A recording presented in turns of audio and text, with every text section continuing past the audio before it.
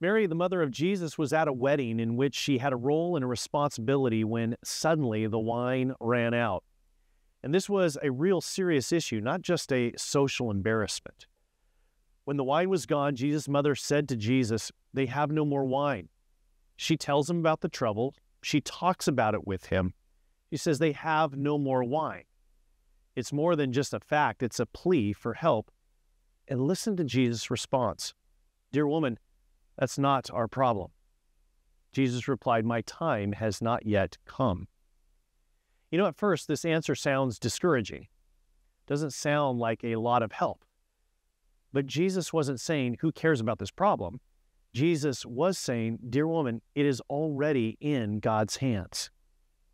Sometimes God's answer will not be the one we would choose, nor does it always make sense. But when it is the Lord's word, it absolutely can be trusted to help us.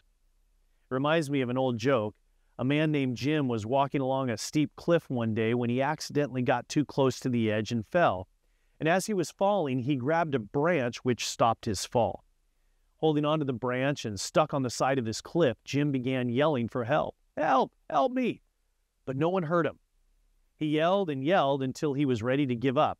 And suddenly he heard a voice Jim, Jim, can you hear me? Help me, I'm stuck, Jim said. I am here to help you, the voice said. Great. Who do I have to thank for helping me?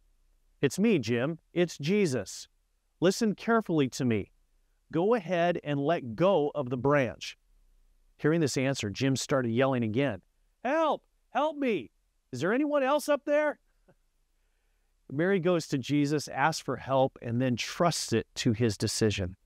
She leaves it there with Jesus. Let's listen and then let's trust that it's in the Lord's hands and all is well. We pray.